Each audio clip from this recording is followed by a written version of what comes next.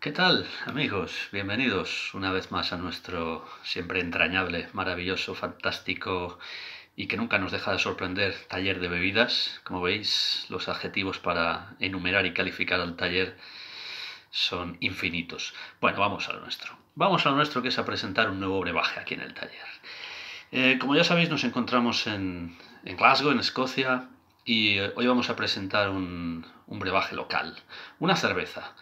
Eh, bueno, no realmente de Glasgow, pero más o menos de la zona, no demasiado lejos. se trata de una brewery que se encuentra ubicada en Dumbarton, que está pues prácticamente a continuación de Glasgow, es como una pequeña ciudad dormitorio de Glasgow, al, oeste de Glasgow, al noroeste concretamente, y cerca del Loch Lomond. El Loch Lomond es el lago más grande de toda la isla de, Gran Bretaña, el lago con más volumen de toda la isla de Gran Bretaña. Y precisamente en Dumbarton, en, este pueblo, ciudad que decía, pues tiene una, una brewery que se llama como el lago, Loch Lomond, ahí está. Y esto es lo que vamos a presentar hoy, una cerveza de esta brewery. Ya hemos presentado anteriormente alguna otra similar. Eh, concretamente hoy nos vamos a, ir a la, aquí abajo está el nombre de, de la que viene hoy, la Gridwire. Eh, y bueno, yo creo que el nombre viene dado porque se trata de un IPA, pero en su caso de un White IPA. Aquí está el tipo de cerveza, White IPA, IPA blanco.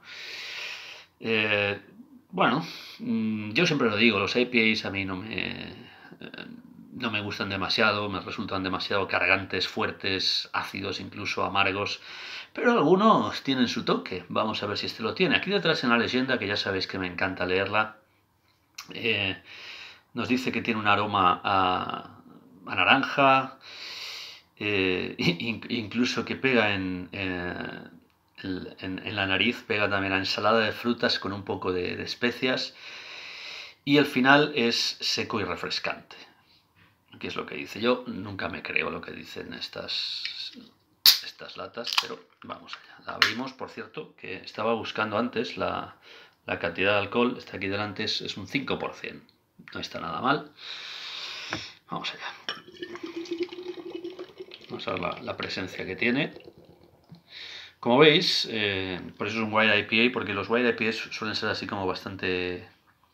Eh, bueno, se les llama blancos porque parecen blancos. Eh, fijaos en el color que es más como más pálido, ¿verdad? Que, una, una, cerveza, una IPA de otro tipo. Como más turbio. Se parece mucho a las cervezas de trigo, pero incluso pega en más pálido.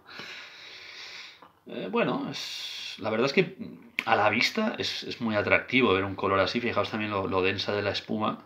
Eh, pues es, realmente una cerveza que a la vista queda como muy atractiva. lo que nos interesa es que al paladar también lo sea.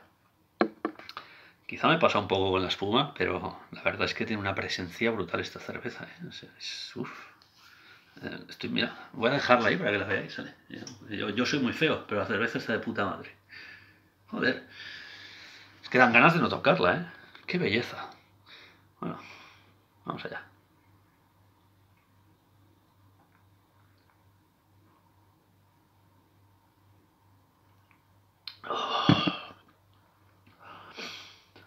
Oh, joder. Está fuerte, está fuerte. Pero va a caer.